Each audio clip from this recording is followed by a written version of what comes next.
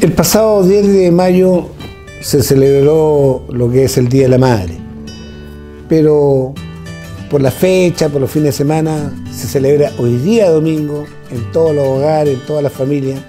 se está celebrando el Día de la Madre. Como alcalde quiero entregar un cariñoso saludo a todas las mamás de la comuna y reiterar nuestro compromiso en trabajar porque cada día tengamos más oportunidades para nuestra gente trabajar también por el respeto a la mujer, por el respeto a las madres, porque todos quienes estamos en este mundo